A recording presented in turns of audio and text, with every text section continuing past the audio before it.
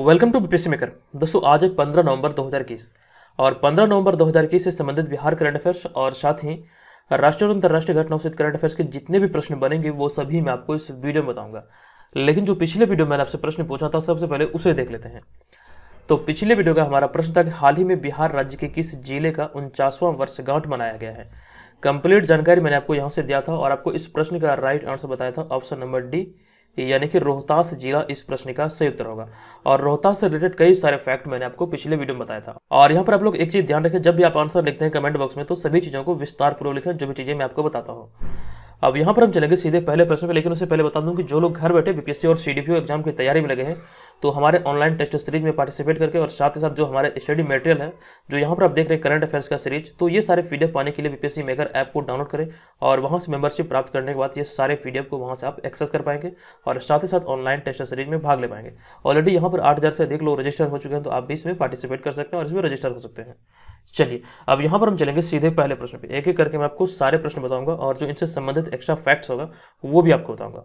यहाँ पर आज का हमारा पहला प्रश्न है कि हाल ही में बिहार के किस मधुबनी पेंटिंग की कलाकार को पद्मश्री अवार्ड से सम्मानित किया गया है?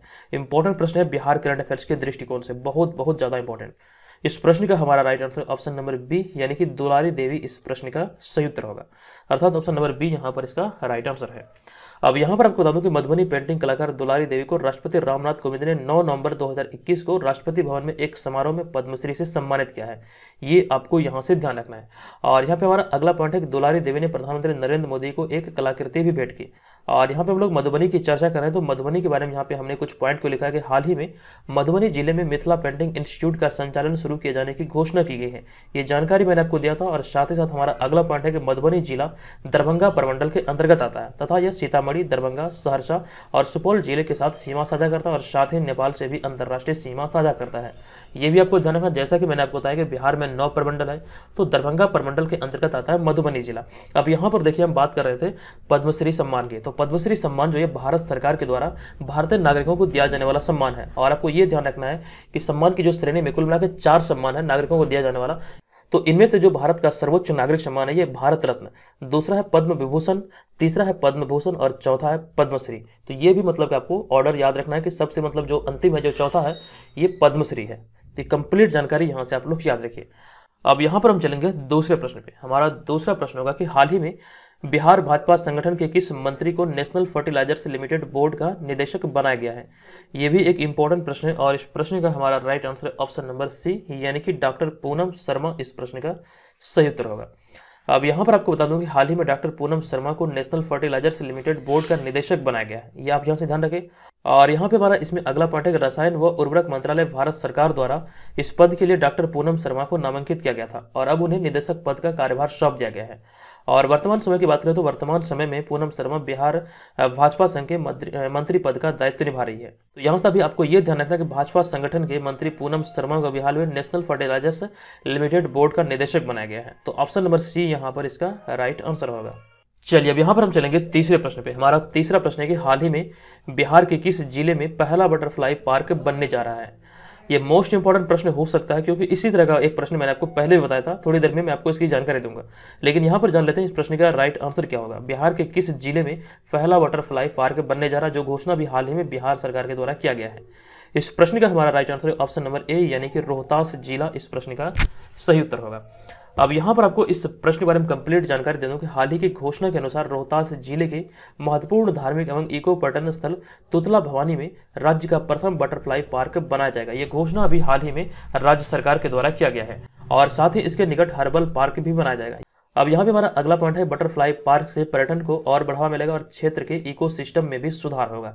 ये आपको यहाँ पर ध्यान रखना है। अब यहाँ पे चर्चा हुई रोहतास की तो रोहतास के बारे में हमने कुछ पॉइंट को ऐड किया है कि हाल ही में 10 नवंबर को रोहतास का उनचासवां स्थापना दिवस मनाया गया है। कंप्लीट जानकारी मैंने आपको शायद एक से दो दिन पहले ही दिया था। कि रोहतास ज़िले का भी हाल ही में दस नवंबर दो हज़ार इक्कीस को उनचासवां स्थापना दिवस मनाया गया है। और बात आई रोहतास की तो रोहतास पटना परमंडल के अंतर्गत आता है तथा कैमूर, बक्सर, भोजपुर, अरवल और औरंगाबाद ज़िले से अपनी सीमा साझा करता है और साथ ही साथ उत्तर प्रदेश और झारखंड से भी यह सीमा साझा करता है। तो ये सारी जानकारी यहाँ से आपको याद रखना है। अब इसी प्रश्न से रिलेटेड एक और फैक्ट है, मिलता जुलता प्रश्न है, जो कि मैंने आपको कुछ दिन पहले बताया था कि बिहार राज्य का मतलब कह सकते हैं पहला मंकी पार्क कहाँ स्थापित किया जा रहा है। ये घोषणा अभी हाल ही में किया गया था। तो मैंने आपको बताया था ये अररिया ज़िले के औराही हिंगना ग्राम में इसका निर्माण किया जा रहा है। और औराही हिंगना जो संबंधित है, ये फरेश्वर नाथ रेणु से संबंधित है। और जहाँ पर इनका जन्म हुआ था, उसी स्थान पर मतलब ये मंकी पार्क की स्थापना किया जा रहा है बिहार सरकार द्वारा। तो आपको ये ध्यान रखना है कि बिहार का पहला मंकी पार्क अररिया में और साथ ही साथ बिहार का पहला बटरफ्लाई पार्क रोहतास में स्थापित किया जा रहा है। दोनों घोषणा अभी हाल ही में हुए, दोनों करंट अफेयर्स की श्रेणी में है। अब यहाँ पर हम चलेंगे चौथे प्रश्न पे। हमारा चौथा प्रश्न है कि भोजपुरी फ़िल्म की अभिनेत्री स्मृति सिन्हा ने किस फ़िल्म में राबड़ी देवी का किरदार निभाई है?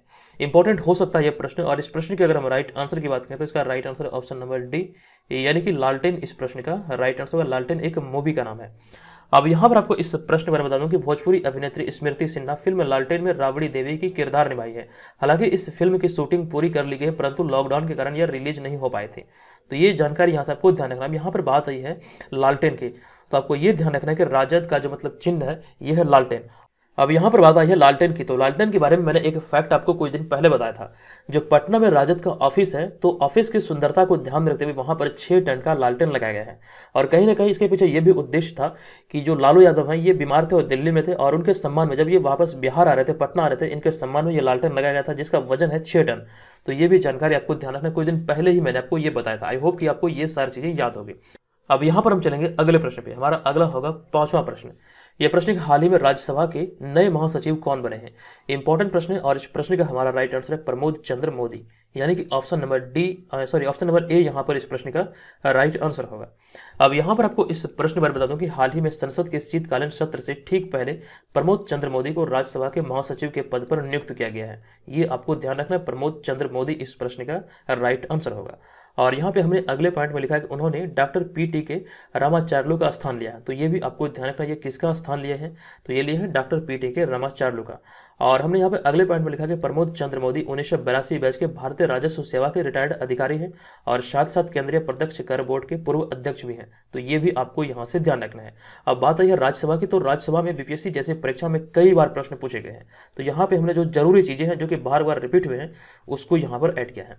तो राज्यसभा एक अस्थायी निकाय है, इसे कभी भी भंग नहीं किया जा सकता है। यहाँ पर लिखा गया है कि राज्यसभा एक अस्थायी निकाय है, इसे भंग नहीं किया जा सकता है।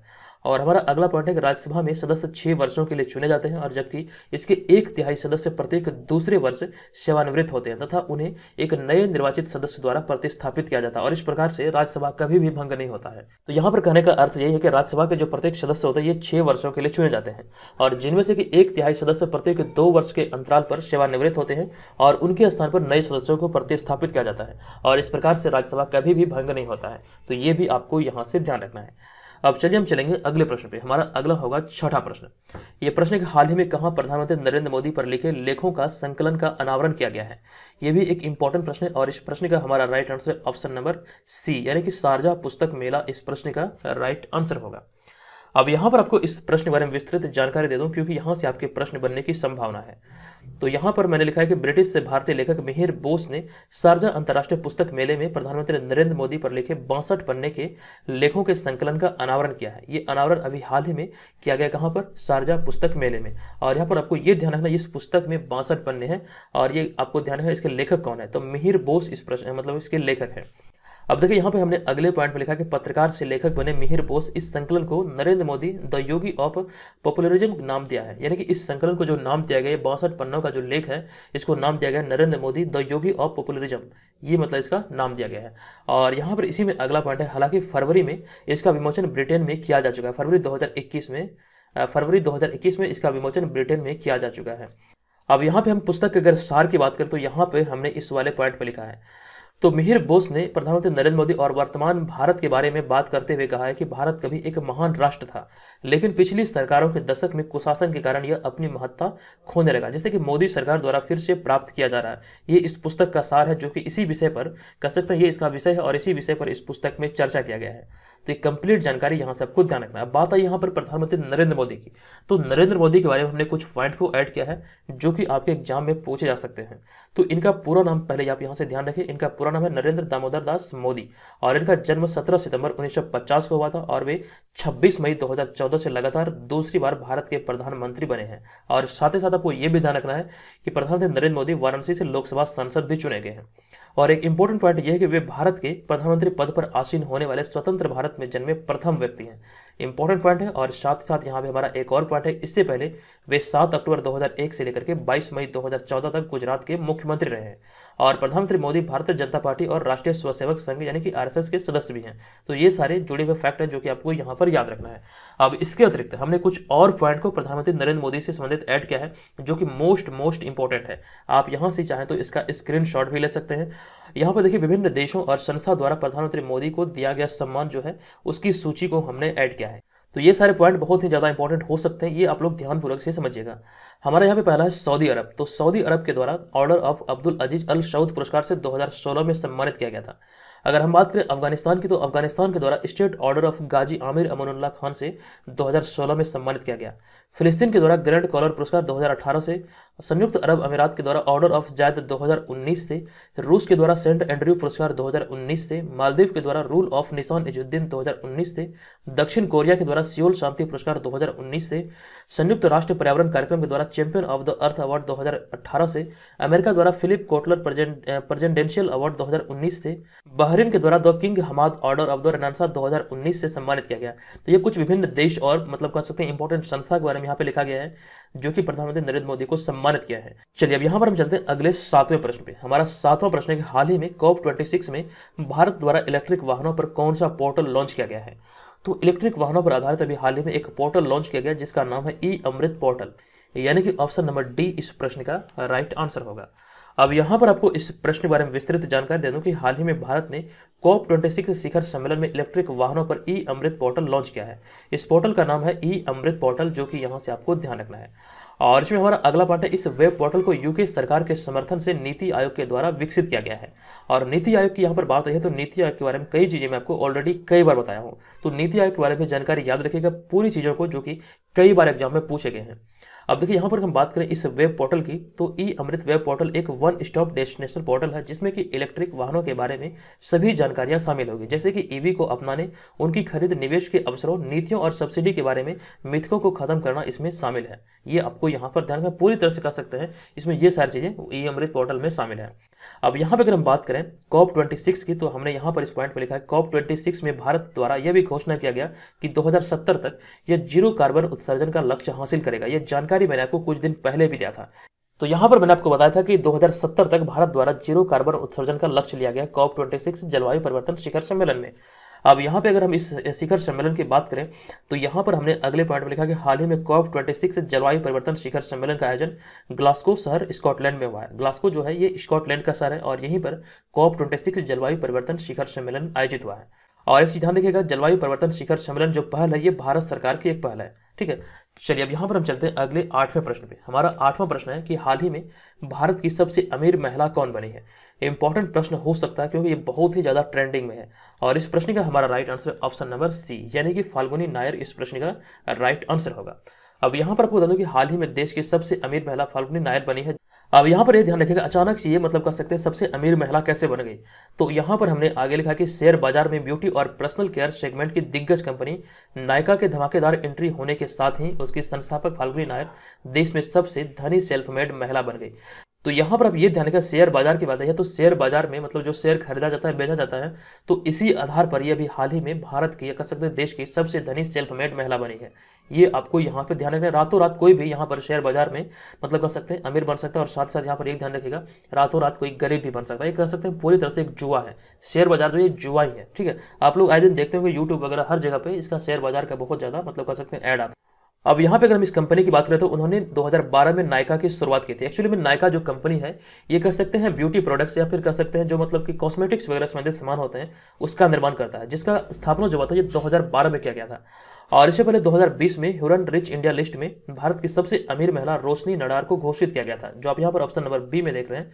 2020 में जो रिपोर्ट जारी किया गया था ह्यूरन इंडिया रिच लिस्ट के अनुसार तो इसमें सबसे अमीर महिला बनी थी कौन? रोशनी नडार। और यहाँ पर आपको ये भी ध्यान रखना है कि रोशनी नडार एच की चेयरमैन है। अब यहाँ पर आपको एक पॉइंट और बता दूँ, जो ऑप्शन नंबर आप यहाँ पर डी में देख लें कायली नेजर तो फोर्ब्स द्वारा सबसे कम उम्र की अरबपति की लिस्ट जारी की गई थी, जिसमें कि कायली नेजर सबसे कम उम्र की अरबपति बनी थी। तो ये भी जानकारी यहाँ से आपको ध्यान रखना है।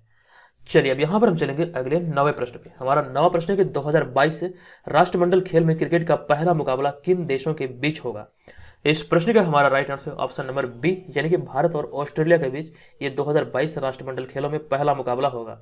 अब यहाँ पर बता दूँ कि 2022 राष्ट्रमंडल खेलों में क्रिकेट का पहला मुकाबला 29 जुलाई को 29 जुलाई 2022 को भारत और ऑस्ट्रेलिया की महिला टीमों के बीच खेला जाएगा। ये आपको यहाँ से ध्यान रखना महिला टीमों के बीच ये 29 जुलाई 2022 को खेला जाएगा। और यहाँ पे हमने अगले पॉइंट में लिखा कि इस बार महिला क्रिकेट को, इस बार महिला क्रिकेट को पहली बार राष्ट्रमंडल खेलों में शामिल किया गया है, जो कि टी ट्वेंटी प्रारूप में इसके मुकाबले होंगे एवं इसका फाइनल मुकाबला 7 अगस्त 2022 को खेला जाएगा। ये आपको ध्यान रखना 7 अगस्त 2022 को इसका फाइनल मुकाबला होगा और साथ ही साथ इसमें भारत और पाकिस्तान के बीच मुकाबला इकतीस जुलाई दो हज़ार को होगा। अब यहाँ पर बात है क्रिकेट की तो क्रिकेट से जुड़ी हुई कुछ पॉइंट है, आप यहाँ पर देख के सारी चीज़ों को समझ सकते हैं। एक बार पुनः मैं सभी चीज़ों को रिवाइज कर दो।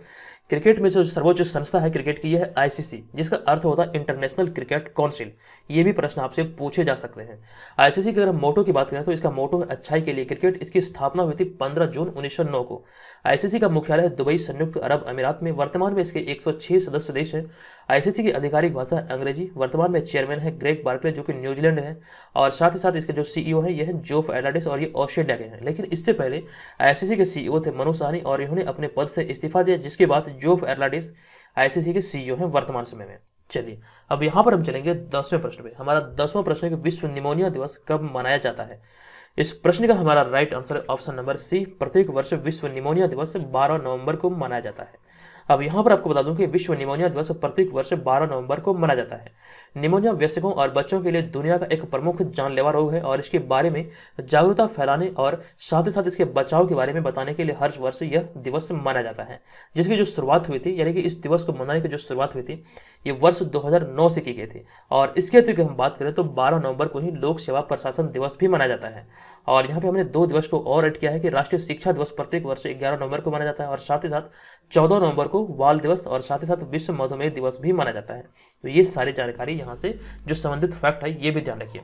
चलिए, अब यहाँ पर हम चलेंगे अगले ग्यारहवें प्रश्न पे। हमारा ग्यारहवा प्रश्न है कि भारत के पहले विश्व स्तरीय रेलवे स्टेशन का उद्घाटन 15 नवंबर 2021 को किस शहर में किया गया? यानी कि किया गया मतलब आज किया जाएगा, ठीक है? तो इस प्रश्न का अगर हम राइट आंसर की बात करें तो इस प्रश्न का हमारा right answer option number A यानी कि भोपाल इस प्रश्न का राइट आंसर होगा। आपको यहाँ पर विस्तार से बता दूँ कि 15 नवंबर 2021 को भारत के पहले विश्व स्तरीय रेलवे स्टेशन का उद्घाटन मध्य प्रदेश की राजधानी भोपाल के हबीबगंज रेलवे स्टेशन में किया गया। ये आपको ध्यान रखना है। ये आज किया जाएगा, बल्कि यहाँ पर मैंने लिख दिया किया गया एक्चुअली में किया जाएगा आज। यानी कि पंद्रह नंबर आज है तो पंद्रह नंबर दो हज़ार इक्कीस को। अब यहाँ पे हमने अगले पॉइंट में लिखा है, इसमें वह सभी सुविधाएँ उपलब्ध होगी जो कि अंतर्राष्ट्रीय हवाई अड्डे पर उपलब्ध होती है। तो ये भी आपको यहाँ से ध्यान रखना है। अब देखिए, यहाँ पर हमने अगले पॉइंट में लिखा, इसका उद्घाटन प्रधानमंत्री नरेंद्र मोदी द्वारा किया गया और साथ ही साथ यहाँ पर आपको ये ध्यान रखना है, हबीबगंज रेलवे स्टेशन जो कि भोपाल में है तो ये देश की निजी और सार्वजनिक क्षेत्र की भागीदारी के तहत परिवर्तित होने वाला देश का पहला रेलवे स्टेशन है। तो ये भी यहाँ से प्रश्न बनने की संभावना है। तो इस तरह का मतलब कह सकते हैं, निजी और सार्वजनिक क्षेत्र की भागीदारी के तहत परिवर्तित होने वाला ये देश का पहला रेलवे स्टेशन है, जिसका नाम आपको यहाँ से ध्यान रखना है। हबीबगंज रेलवे स्टेशन इस प्रश्न का राइट आंसर है। अब यहाँ पर देखिए, हमने भोपाल के बारे में एक पॉइंट को ऐड किया कि हाल ही में भोपाल में भारत का पहला ई कचरा क्लिनिक स्थापित किया गया है। मोस्ट मोस्ट इंपॉर्टेंट है, ये आपको यहाँ से ध्यान रखना है। भारत का पहला ई कचरा क्लिनिक भोपाल में स्थापित किया गया है और ये भोपाल जो है मध्य प्रदेश की राजधानी है। अब यहाँ पे हमारा अगला प्रश्न होगा, बारहवां प्रश्न। ये प्रश्न कि हाल ही में किस राज्य ने सड़क सुरक्षा पहल की शुरुआत की है? तो सड़क सुरक्षा पहल की शुरुआत अभी हाल ही में जो किया गया, ये उड़ीसा सरकार के द्वारा किया गया है। अब यहाँ पर आपको इस प्रश्न के बारे में बता दूँ कि ओडिशा सरकार ने दुर्घटनाओं के पहले उत्तरदाताओं को प्रशिक्षित करने के लिए रक्षक नाम से अपनी तरह के पहले सड़क सुरक्षा पहल की शुरुआत की है। इस पहल का नाम है रक्षक, जो यहाँ से आप ध्यान रखेंगे। अब बात है उड़ीसा की तो उड़ीसा की राजधानी भुवनेश्वर और यहाँ के मुख्यमंत्री नवीन पटनायक तथा राज्यपाल गणेशी लाल है। और साथ ही साथ यहाँ पर भुवनेश्वर की बात है तो एक पॉइंट याद रखिए कि भुवनेश्वर पूरे भारत का ऐसा पहला शहर है जो कि शत प्रतिशत कोविड टीकाकरण का लक्ष्य हासिल करने वाला शहर बना था। ये आपको यहाँ से ध्यान रखना है। और यहाँ पे हम बात करें उड़ीसा की तो उड़ीसा के कंधमाल हल्दी को हाल ही में जीआई टैग प्रदान किया गया था। अब यहाँ पे हमारा अगला पॉइंट है, इसी में Atal mission for rejuvenation, urban transformation, यानी कि A M R U T ranking में उड़ीसा राज्य प्रथम स्थान पर था। तो ये इंपॉर्टेंट है, ये ध्यान रखें, और साथ ही साथ उड़ीसा के बालासोर ज़िले में दुर्लभ पीली प्रजाति का कछुआ भी पाया गया था। तो इस संबंधित जानकारी जो मिले जुले फैक्ट है, वो यहाँ से ध्यान रखिए। अब चलते हैं आज के इस वीडियो के प्रश्न की ओर। आज के इस वीडियो का हमारा प्रश्न है हाल ही में बिहार के किस खिलाड़ी ने वर्ल्ड किक बॉक्सिंग चैंपियनशिप में अंडर 16 वर्ग में स्वर्ण पदक जीता है? कंप्लीट जानकारी मैंने आपको इस प्रश्न से संबंधित दिया है। बताइए इस प्रश्न का राइट आंसर क्या होगा? और ये ध्यान रखिए, जो भी लोग आप यहाँ पर कमेंट करेंगे तो विस्तृत जानकारी आप लोग ज़रूर लिखेगा इससे क्या होगा कि आपको चीज़ें लंबे समय तक के लिए याद होगी। और जो लोग ऑनलाइन टेस्ट सीरीज़ में भाग लेना चाहते हैं और साथ ही साथ जो हमारे स्टडी मटेरियल है, उसे प्राप्त करना चाहते हैं तो बीपीएससी मेकर ऐप को प्ले स्टोर से डाउनलोड करके वहाँ से इसका मेंबरशिप लेने के बाद तमाम चीज़ों को आप एक्सेस कर पाएँगे। तो दोस्तों, आज के इस वीडियो में इतना ही। मिलेंगे नेक्स्ट वीडियो में। तब तक के लिए धन्यवाद। जय हिंद।